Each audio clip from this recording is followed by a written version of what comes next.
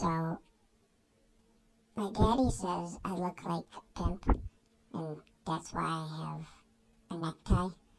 Um, but I don't know what a pimp is supposed to do.